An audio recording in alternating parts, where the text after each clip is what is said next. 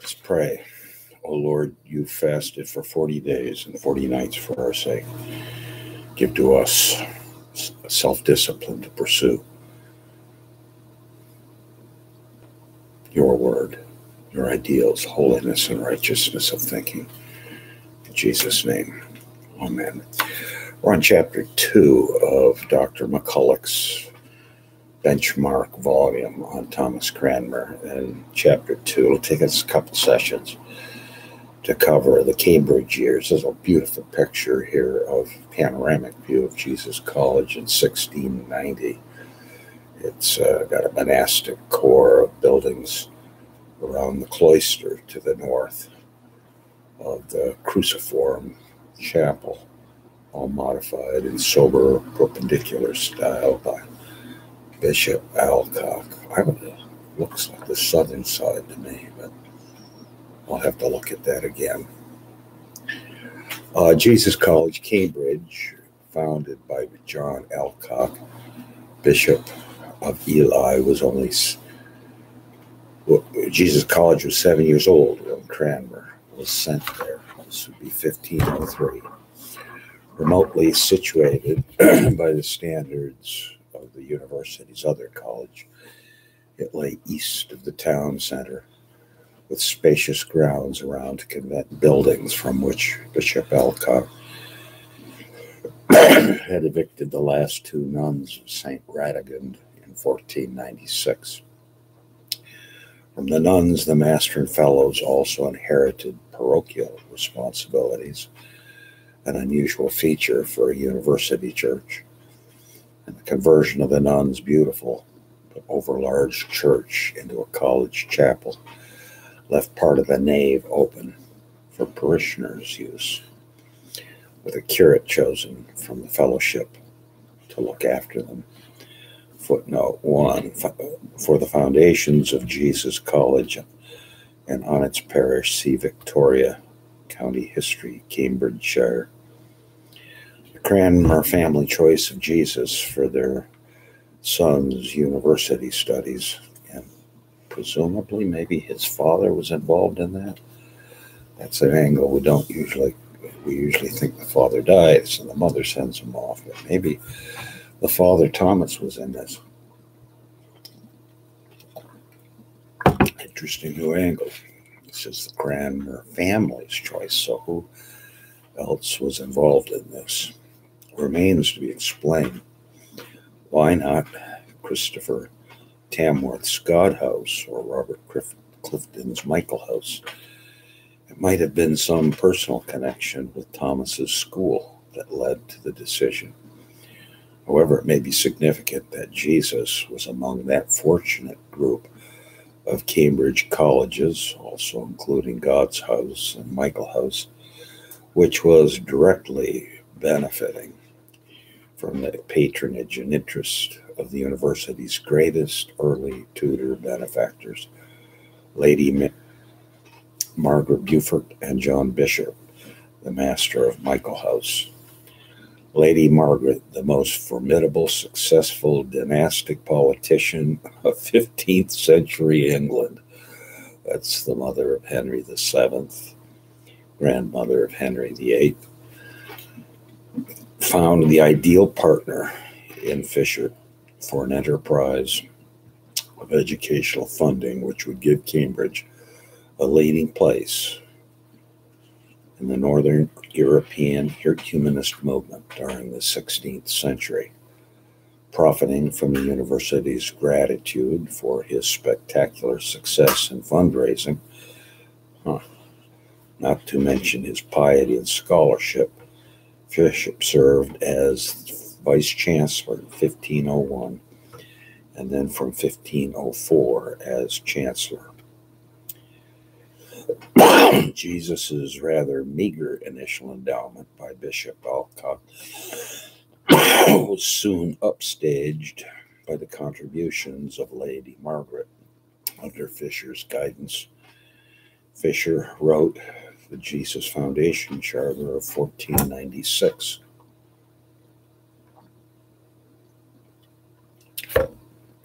and much of the work converting the former nunnery buildings was financed by Lady Margaret and her associates in the year years when Cranmer was the first member was first a member of the college. Even the college's change of its name from the proposed continuation of the nunnery's dedication to Saint Radegund is likely to have been a compliment to, to or inspiration by Lady Margaret. She was official patroness of the holy name of Jesus in England by papal grant. And she certainly influenced the latter change of God's house to Christ's.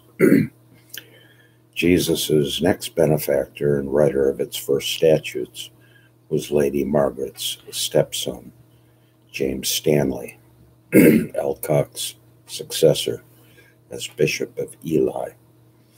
Lady Margaret was a familiar figure at great university ceremonies in Cranmer's early Cambridge years, making frequent visits, which became annual from 1505 to 1507. On this la- last occasion, she badgered her son, King Henry VII, and his prince heir, to attend the university commencement with her. As a boy, Cranmer made one friend who would have linked him to the Beaufort circle even before he went to Cambridge, John Markham, who testified to his long life friendship in his will in 1559. Uh, weird, interesting. When he took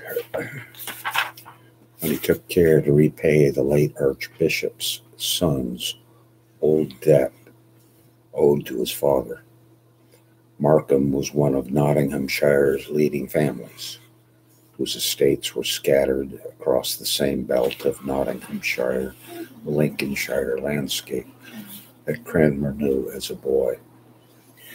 He was about Cranmer's age, and they had known each other at least since they were teenagers, as the Archbishop later warmly testified to Thomas Cromwell when Markham was facing serious trouble in Nottinghamshire. Their friendship remained strong, based on their common conversion to evangelical piety in the early 1530s. And a mark of exceptional quality was the fact that Cranmer was prompted thus to intervene so earnestly with Cromwell in the politics of his childhood county something which he did little during his years as Archbishop. Markham was a relative of Lady Margaret's, and he entered her service before asserting his family's leading position in Midland society by his devoted service in Henry VIII's wars. Perhaps, therefore, it was the Markhams who suggested which college might be suitable for a bright young friend of their eldest boy.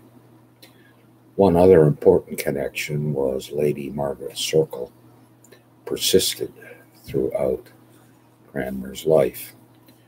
It's probably during the early Cambridge years that he got to know James Morice, Lady Margaret's clerk of the kitchen and surveyor of her building works at Christ's and St. John's, possibly at Jesus. John's son, Ralph, would become Cranmer's trusted and long term secretary and biographer. Once more, the Lincolnshire connection is evident. James was controller of the customs of Boston, and he inevitably had much to do with the Fenland drainage schemes, which interested Lady Margaret. He also shared Lady Margaret's cultivated piety and the evidence remains of a significant devotional library. Footnote here on Ralph's entry into Cranmer's service on Rochford's recommendation. Uh, we're going to be reading Morice's uh, anecdotal biography of Cranmer, God willing. Like Sir John Markham, he and his family would turn this high temperature religion to an early interest in evangelical views, but his children also sustained their prosperity on service to the great. After James' career with Lady Margaret, his son William served first Dean Pace St. Paul's and later Henry VIII. Ralph Morice was to enter Cranmer's service on the recommendation of George Lord Rochford, and in 1533 Ralph's and William's brother Philip made a spirited attempt through Cranmer to become secretary to the Duke of Richmond before becoming Cromwell's servant.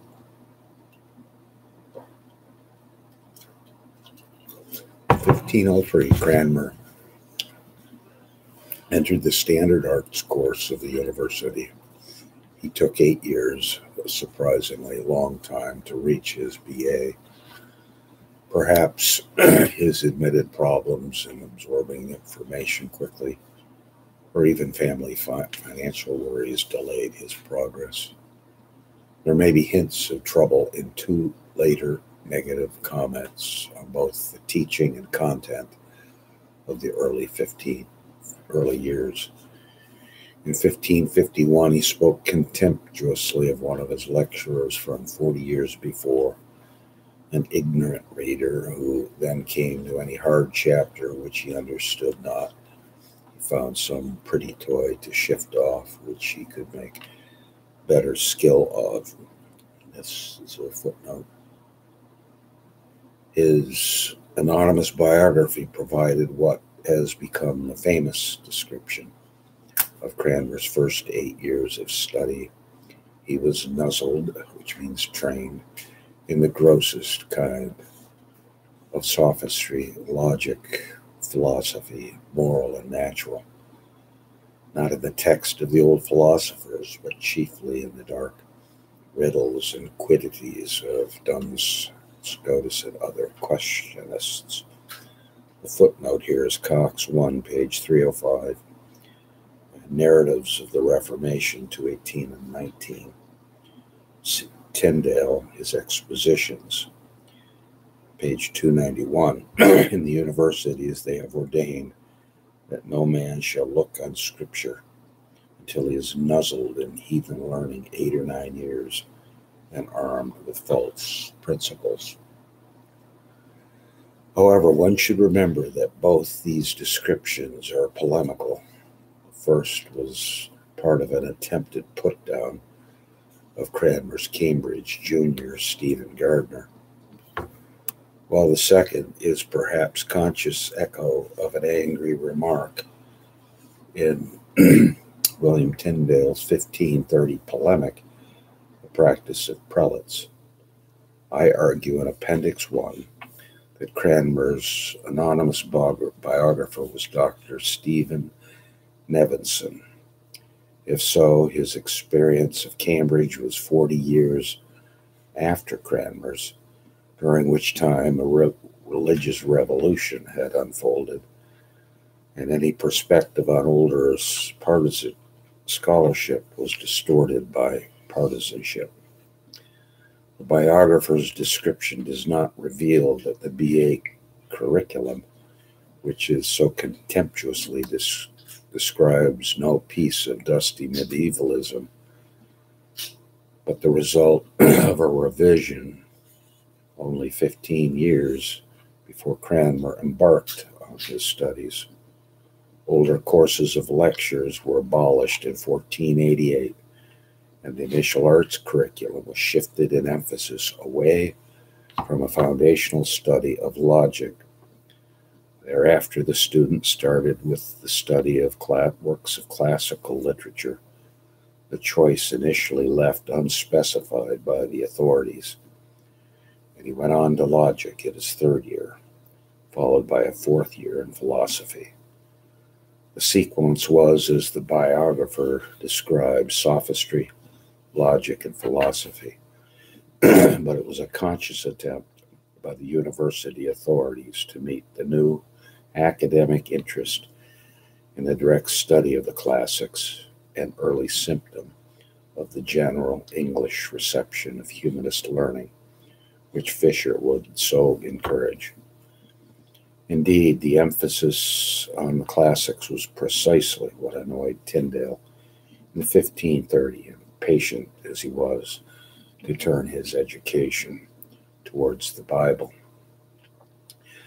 Nevertheless, Cranmer's embryonic library was founded on medieval scholastic texts, which would have been familiar to generations of undergraduates, and which he often seems to have acquired secondhand in time honored student fashion. Whatever Cranmer's later opinion of them, he preserved them faithfully amid his magnificent later collections.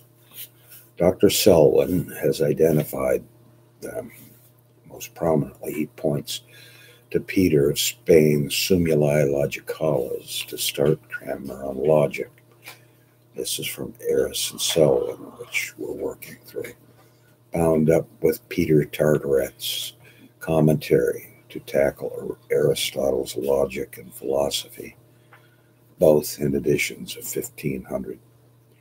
There's much else of Aristotle or commentaries on him in editions of the appropriate date and Duns Scotus is indeed represented, as the biographer suggested, with two copies of the 1497 edition of his Questions Subtilissima.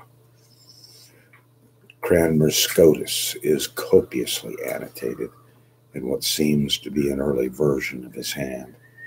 Neatly and conscientiously, he sets out responses and objections makes notes summarizing themes, and adds notes of other relevant authorities. Already he is using the Arabic numeration, which he favored throughout his later life. Cranmer's first degree was taken in the same year as several friends who became important to him in his years in his, the public stage. The listing of BAs in the Grace books seems to have been done in groups of colleges.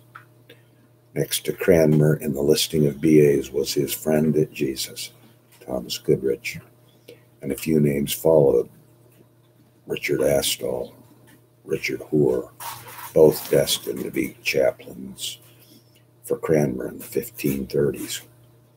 Early in the list among higher degrees is D. Boston, this is probably William Benson, alias Boston, another Cranmer friend, a South Lincolnshire man like Goodrich, and the future abbot and first dean of Westminster. One sees D. Latimer, Hugh Latimer, Cranmer's fellow martyr. Another name in the same BA list, D. Nicholson, suggests a less happily associated martyr than Latimer, for this probably can be identified with John Lambert, alias Nicholson. What? Cranmer's association with the trial, which led to Lambert's burning as a sacramentary in 1538, caused Cranmer and his later biographers much embarrassment and heart searching. A few months after the summer degree day, another figure central to Cranmer's future entered the university for the first time. Stephen Gardiner, beginning his undergraduate career under the influence, influential relative at Trinity Hall. Cranmer now embarked on a different course of study for the MA. Again, the anonymous biography put a polemical edge on this description, comparing Cranmer's work on his earlier course with a shift in 1511 to favor Erasmus, good Latin authors. Again, we must beware of any Reformation hindsight in interpreting the change in direction and consider that it might have been much thanks to the university curriculum as to any revulsion towards the schoolmen on Cranmer's part. It need not even be significant that Erasmus arrived for the first extended stay in Cambridge in 1511, causing much excitement in the university. The Cambridge MA course, which Cranmer experienced, had been reformed about a decade after the BA It had been widened to include arithmetic, music, geometry, and perspective. One of the items relative to this curriculum in Cranmer's library was a collection of mathematical treatises by the humanist polymath Jacques Lefebvre d'Étaples, Faber, I don't know how to say the Latin, uh, this French, published in 1507. Footnote 16. This book was long ago disposed of by the British Museum, but is listed in the manuscript catalog of printed books in the Old Royal Library, Department of Printed Books, for a note on the identified Faber reference in the narratives of Reformation 218 and 19. Besides the official subjects which Cranmer had to master, his natural progression in study may have gradually led him to more adventurous reading. We have, after all, the testimony of those close to him that he was methodical, even a plodding scholar. Confer the comments of Ridley on Cranmer's progress through scholarship. This would be Jasper Ridley, pages 15 and 16. This time, his course to the next degree showed no especial delay. He gained his MA in 1515 after 12 terms, and at some date which is still uncertain, he was elected to the fellowship of the college. He was still a layman, but it, this was not uncommon among the fellows of Jesus in early years. And here we will call this at this point. Glory be to the Father, Son, and Holy Ghost.